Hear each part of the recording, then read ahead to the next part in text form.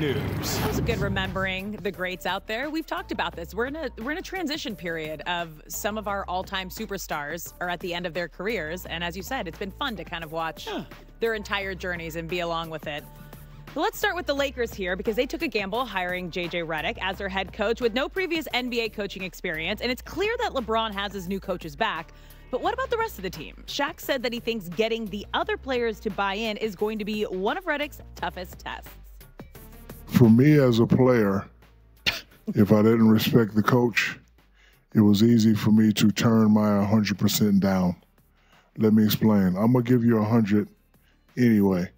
But if it's a situation where I know we're not going to go, hundreds is hard to maintain. But When, my uh, question is you have LeBron's respect. He's sticking up for you. What about the other guys? That, that That's going to be the test. I don't think I could play for a guy who I just played against four or five years ago. I don't, I don't think I can do it. I think the big tell is going to be how Anthony Davis feels about all of this, right? Because he's the number two on the team, the quote future of the team. And there were reports before the Lakers officially hired JJ that he wasn't 100% in on the decision. But Shaq went on to share that he made that example of I, I go 100% with guys and coaches like Phil Jackson, but like one of the greatest coaches of our generation. He goes, You come in, you're going to get 100%.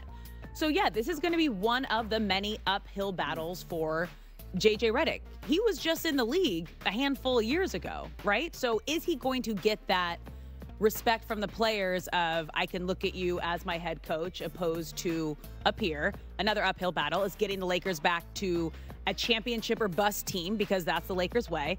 And then developing the LeBron and Bronny relationship on the court. So there's a lot of factors here, but I'm curious to hear from Anthony Davis. Like I think AD is going to be the big kind of help set the tone with LeBron for JJ and the Lakers. That's a good point on AD.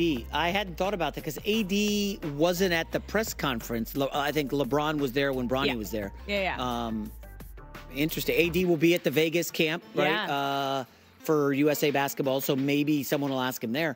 Probably. Um, I don't. I, I, I think AD, you're right, is probably the one to be not concerned, but curious. Yeah. Whereas the other guys are all like in their 20s. They'll and they, listen to LeBron. Yeah, and, Yeah. they also probably watched JJ Redick when they were like 12 years old. Yeah. uh, Being an awesome shooter, one of the top shooters in the league for, Yeah. I don't know, a decade.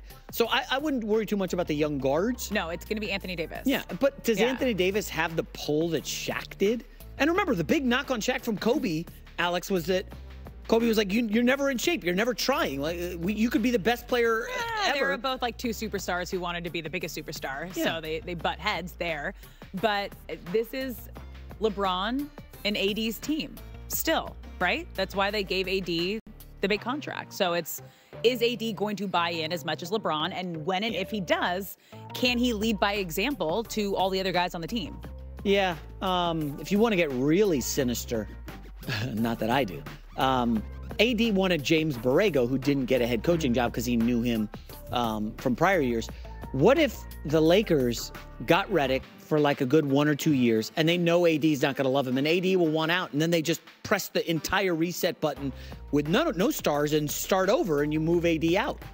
I mean, That's a little From what we've seen from the Lakers, they haven't had a coach since Phil Jackson last longer than three seasons. So Hmm. it's I would predict JJ Redick lasts longer than AD. whoa. Yeah, I don't. Okay. I mean, how's AD going to age given his injuries, history, and just like is he is he at 35 going to be as good as he was last year? I, I don't think so. Like LeBron know. aging is fine. Yeah. I don't know that AD's going to age the way. Like, look at some of these other centers. So Shaq at 35. Go look him up. So there's a, there's Wasn't a good. lot of questions around the Lakers, and a good chunk of them are centering around AD right now. Yeah. Yeah. So it's going to be interesting. Let's move to the NFL, where CJ Stroud made a statement in his rookie season, leading the Texans to a playoff victory. Right team for the right time. Just go back one year. Joe Mazzulla, the head coach, was young, looked like he was completely over his skis, got worked by Erik Spoelstra in the playoffs. Marcus Smart, why is he shooting so much? And you weren't quite sure. Do we give Brown and Tatum extensions? And these guys aren't winning the title. They're just they're just good in the regular season. What we don't know. Brad Stevens, the former coach, goes upstairs and he says Joe Mazzulla needs help. He put really good guys on the staff. He said, you know what, we're a little bit too much Tatum dependent. Let's bring in Porzingis, Jrue Holiday. Other scores take the pressure off. Let's give Jaylen Brown an extension, make one of our stars very happy, know he's long-term guy. All of it equaled right team, right time.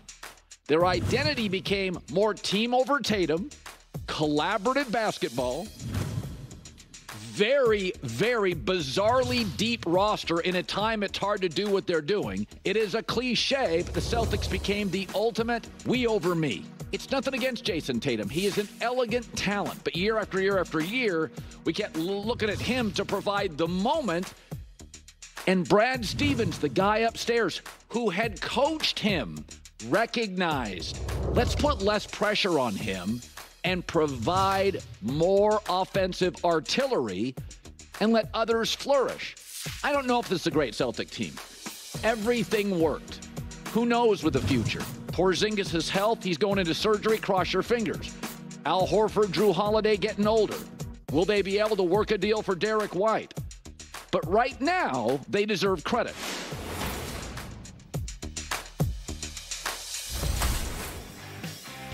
All right, well, you guys were out last night watching fireworks. I was watching fireworks on the soccer field. Argentina, Ecuador, thrilling match in Copa America, and a very weird thing happened.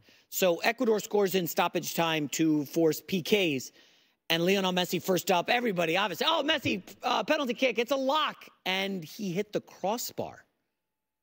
If you're here watching on FS1, look at this. It was stunning. I, at first, I thought it went right in. I was like, wait a minute, he missed? It was one of those shocking moments. Messi, and at that point, Ecuador had the momentum. You're like, holy cow, is Argentina going to lose? They end up prevailing, but Messi missing the PK was pretty much the story of the game. And it's been a weird Copa for Messi. Obviously, the greatest player ever to play soccer in the history of the sport. He's, he's won everything known to man. Okay. Well, he was incredible in that thrilling World Cup final uh, against France, a memorable game. Messi's the GOAT. Okay. But he hasn't scored in Copa.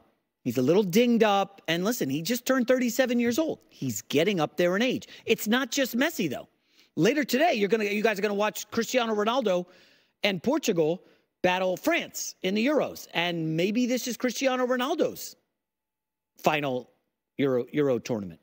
Now, if you watch the last game they played in, in extra time, he missed a penalty kick and broke out in tears on the field. Again, Ronaldo and Messi, these are two humongous global stars missing in key spots. Now, they are late in their career, and it got me thinking. So, uh, social media pretty much exploded. To, you know, it's tough to pin down the exact date, but somewhere in like the 2007, 8 to 2010 range, somewhere in there. You know, you go YouTube, really popped, Instagram, Twitter. Those were like the big social media moments in about that that 2008 to 2010 range. And who were the big time stars? Uh, Lionel Messi was emerging as a superstar. Cristiano Ronaldo, same deal. He was kind of a little more advanced at that stage. He's a couple years older than Messi. And then in the NBA, you had Steph Curry uh, with Davidson and then the Golden State Warriors. You had Kevin Durant and you had LeBron James. All these guys are around the same age 35, 36 to 39 and they emerged just as social media was popping. They were the first iteration of social media stars. It was an immersive experience. LeBron turns Taco Tuesday into a thing. I know Taco, people had talked about Taco Tuesday before. LeBron was doing it every Tuesday and yelling, Taco Tuesday, and it became a thing. And you and your family, mm, us kind of, sort of sometimes, it was a deal. LeBron did that because we were along for the ride. Lionel Messi, I don't know if you guys know this. His dog is like followed around and photographed and a huge deal in Argentina. His dog, okay? Cristiano Ronaldo, every summer, he takes him and his hot wife and their kids, they go on a yacht somewhere in the Mediterranean, somewhere exotic and beautiful. And, and he's living the dream. And you know, the photo, photographers are capturing it. He's putting it on his IG. You feel like you're on vacation with the guy. You feel close to Ronaldo. And then you maybe see the hotel they're at and you're like, ooh, let me follow that hotel in case one day when I'm a baller, I'll check it out, you know? I mean, Steph Curry, folks, uh, you guys know I have kids at home. I talk about this on my podcast all the time. Steph Curry does some of the best, coolest new age workouts I've ever seen. And I'm not gonna lie, as my son likes to say, no cap.